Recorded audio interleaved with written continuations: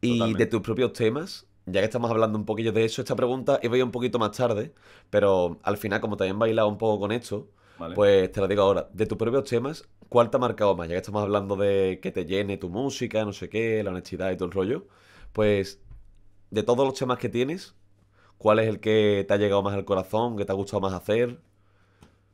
Mm, pues mira, es que no sé, he tenido muchos temas. Eh, y es complicado, ¿no? Como el, el que me ha gustado más hacer.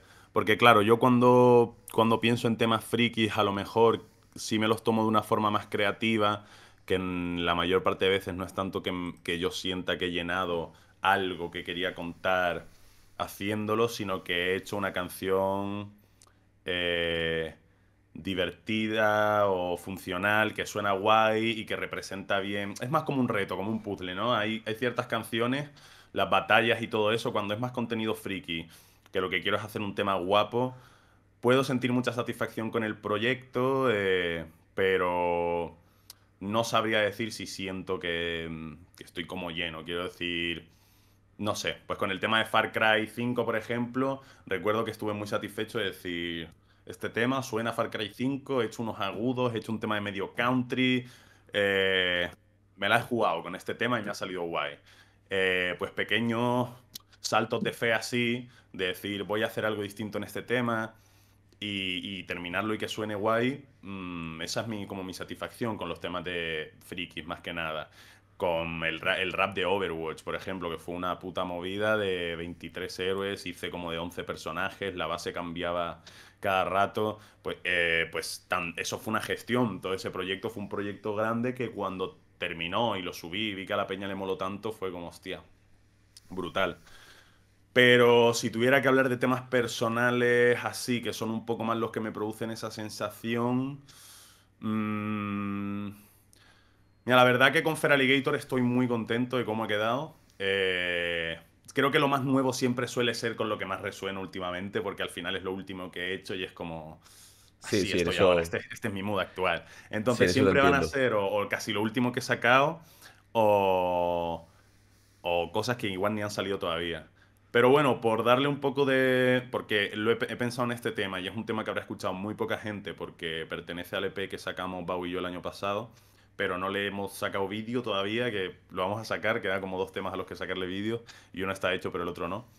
Eh, pero es Envenenado, que es un tema de SP y que, no sé, es un tema muy sentido que creo que, que aunque haya salido cuando ya había probado yo cosas nuevas musicales, cuando lo escribí, lo grabé, no había probado tantas y fue como aventurarme ahí un poco en hacerme un tema, mm, no sé, como rapeado y tal, pero en otro rollo y, estoy muy contento con el resultado, creo que es un temazo en general envenenado que, espero sacarle el vídeo pronto porque me gustaría que más peña lo pudiese disfrutar de él y sé que está un poco escondido en Spotify o en YouTube eh, Music, pero ese tema es de los temas que más calentito me pone en el corazón como de escucharlo y decir, qué bonito, me salió esto, mm, saqué cosas y quedaron chulas, ¿no?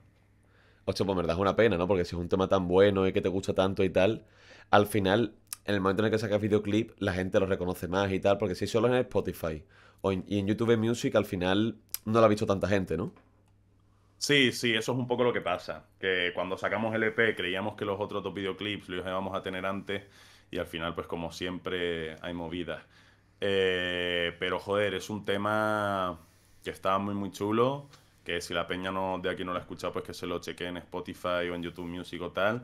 Y que intentaremos sacarle un vídeo pronto porque, porque está guay. Y creo que es una pena que esté ahí apartadillo. Mola, mola.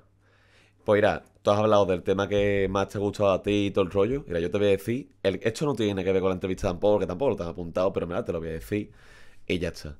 A mí el tema que más me gusta es una épica batida de radio friquismo, la verdad. O sea, porque de tu música he escuchado más reciente, evidentemente, Fer Alligator, que me la gocé anoche. La de Gusano me salió en un short que estaba yo en la cama, estaba ahí medio muerto, ¿no? Me salió la de Gusano, el short, y yo, ¿esto qué coño es? Pero yo estaba medio dormido y de repente escucho, eh, te querría si fueras un invertebrado. Y yo, ¿qué coño estoy escuchando? En plan, ¿qué coño es esto? Ya me metí y digo, ah, vale, vale, ¿qué es esto? Pero claro, primero me sale un nota con un fondo rosa, eh, nena te amo, no sé qué, y yo. Sí, ¿Esto sí, qué sí. coño es? Ahí estaba, ahí estaba. Pero Gusano, por ejemplo, me gustó mucho también. Pero es que, amigo, Godzilla versus King Kong y Shrek versus Thanos, a mí es que me pudieron, de verdad.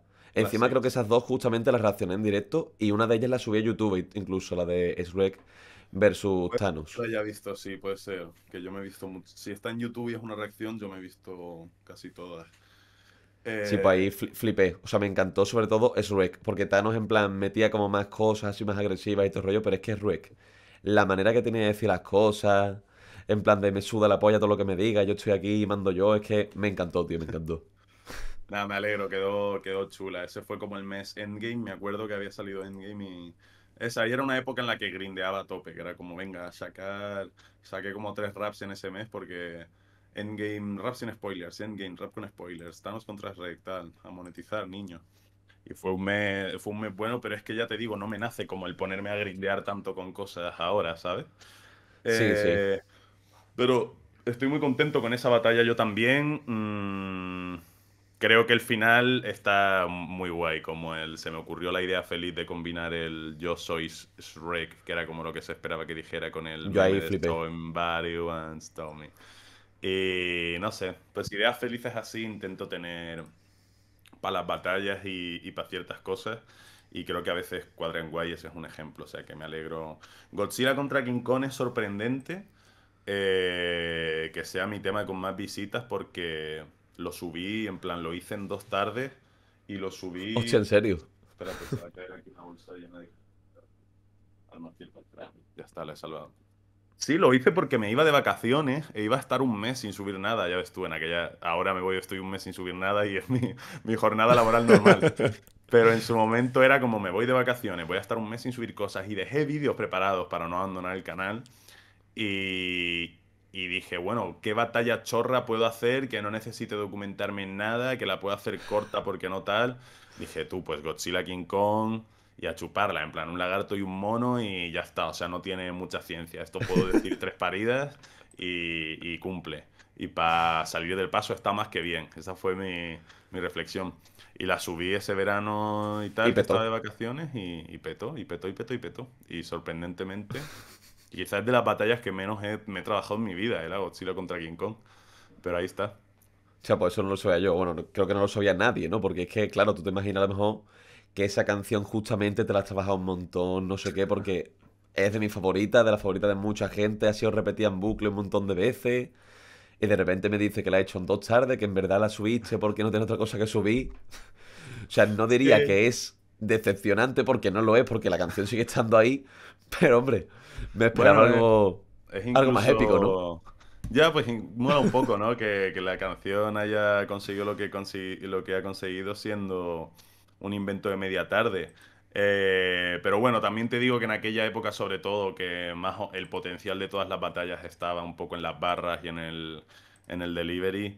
Eh, no importaba mucho el tiempo que le metiese a un vídeo como lo inspirado que estuviese. Y yo creo que para la época estaba inspirado, suba entre el Burger King Kong y, el, y las movidas Sí, de esa, esa estaba guapa, ¿eh? tal pues yo creo que, que tiene como frases que en su época calaron bien, ¿no? Funcionó guay y ya está. O sea, si es que por eso digo que la vida es un, es un botón y el éxito es muy raro, que, que puedes currarte mucho algo y ese curro se puede ver reflejado, pero a veces se, se recompensa el, el- no el tema, un tema malo, pero un tema simple, que no has trabajado mucho, ¿sabes? Y, y a veces pasa. Relleno, por ejemplo, que yo es un tema que subí el año pasado de relleno, porque me faltaban cosas por subir, llevaba tiempo sin subir nada, me dio como una crisis y dije, bueno, voy a subir un tema para hacer tiempo, anunciando proyectos y como, no sé, pues a ver tal.